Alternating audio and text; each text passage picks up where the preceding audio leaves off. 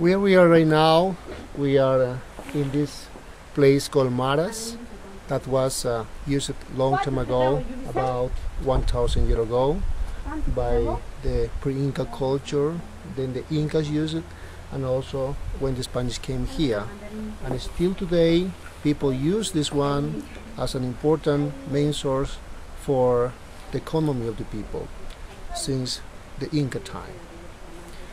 So here we can see all these 3,000 pans where the people produce during their dry season all the salt that they use around here. Like uh, on the valley that we can see in front down below and also up in the high mountains. So the local families since the ancestors the incas they produce the salt in this place how they use that one is very interesting, using a special hydraulic system that they use also in other places, like in Machu Picchu, you will see that one also. It's very simple. They use the same spring water of the mountain, that spring water of the mountain, carry the crystals of salt, and then that one, when the water become a salty water, the people, they put over the terraces. And the characteristic of these terraces that we can see down here is that they use on the terraces a little pans. In these pans, using a little canals of water, they guide in the water, the salty water, and they provide each one of these pans. The idea of these pans is to keep the water and then waiting for the evaporation. So after to waiting for the evaporation, just stay the crystals of salt, and that one is the salt that people they use and they use in the economy people here.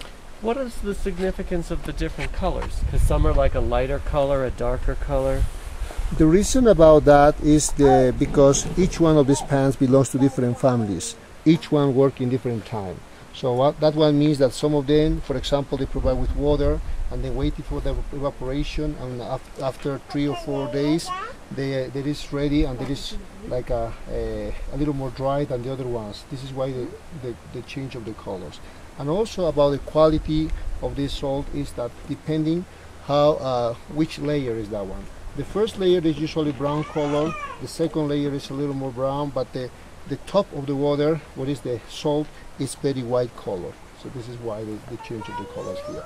So like we can see steel farmers they are working for example one man over there it's working this he's opening the canals to provide more water to one of these pans. So that is the idea to provide with uh, water and then just waiting for the evaporation of that. And these pens have been handed down generation to generation in families. Exactly. These families they keep with them as a heritage. They have they transmit by heritage and then transmit to the other generations. So they keep with them. And in this case, in this place, it's not possible to buy any kind of uh, like a little pen for working here. There is no like a uh, other people from other areas. Just the people that are living here in the place called Maras. Thank you. Welcome. Fascinating.